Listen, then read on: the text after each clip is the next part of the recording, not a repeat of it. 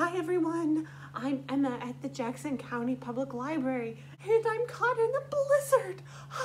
It's so cold, everything is snow white. Well, while I wait for the snow to die down, now is a good time to do the January Book Roundup. January is a great month to stay inside and read. For this month's book roundup, we have collected some books about the new year, about the Chinese New Year, and of course about the cold. You might find an old favorite, or you might find a new book that you want to try. To check out books from the Jackson County Public Library, you can call to make an appointment or to put books on hold. Thomas's Snowsuit by Robert Munsch about a boy who absolutely will not put on his snowsuit. Bunny Slopes by Claudia Rueda. Bunny is going skiing and he wants you to join him, but he gets stuck on a cliff. Can you help Bunny to safety? Over in the Arctic where the cold winds blow by Marianne Berkes. Penguin Problems by Jory John about problems in the lives of the penguins.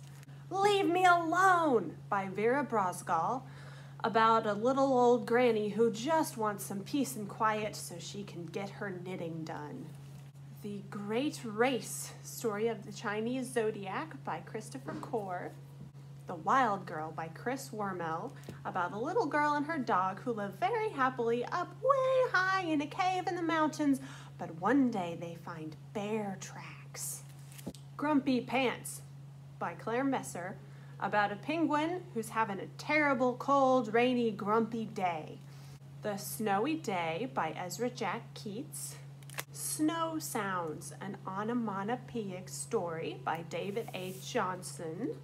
An onomatopoeia is a word that sounds like what it means. Happy All Year by Keith Baker about all the months of the year, starting in January. White Snow, Bright Snow by Alvin Tresselt about the first snowfall of the year.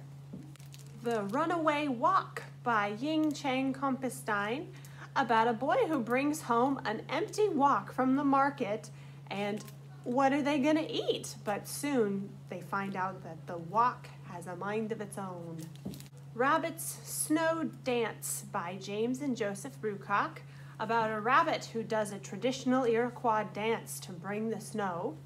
Jump into January, A Journey Around the Year by Stella Blackstone. Little Owl Snow by Divya Srinivasan about Little Owl who's looking forward to his very first winter. This Next New Year by Janet S. Wong about how great our next year is going to be. It's going to be great! Bear Needs Help by Sarah S. Brannen. Bear needs help tying his shoes, but all the other animals are afraid of him. If you're looking for something a little longer, we have these suggestions. The Very, Very Far North by Dan Bar-el about Dwayne the polar bear and all his friends who live at the tip top of the world. May B. by Carolyn Starr Rose about May who gets stranded all alone in a sod house in the middle of winter and has to figure out how to survive.